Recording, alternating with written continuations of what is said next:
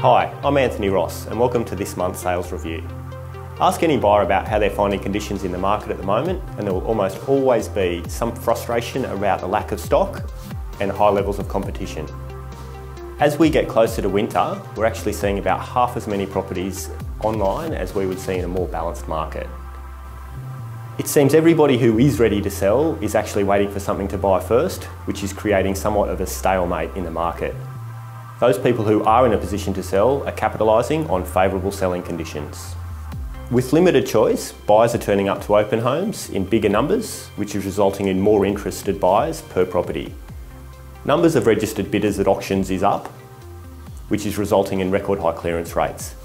We had one weekend with an auction clearance rate of 97% in the Inner West. That meant three properties didn't sell at auction on that particular weekend. The Inner West has been one of Sydney's top performing areas, as a matter of fact, postcode 2041 has just been named as one of Sydney's top 10 wealthiest suburbs. With interest rates taking a further reduction, cash is as cheap as it's ever been, and we are finding buyers have a little bit more confidence to stretch themselves further than they may have otherwise. The property I'm coming to you from today is 12 Norman Street in Rozelle. Matt Hayson and Georgia Glover sold this at auction for 1.375 million, not bad considering our client only paid 950,000 for it late last year. That's 45% growth in seven months.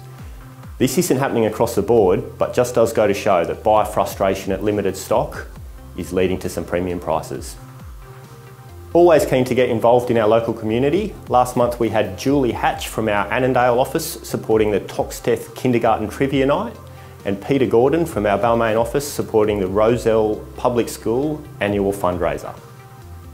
Thanks very much for watching. That's it from me. Look forward to seeing you out and about.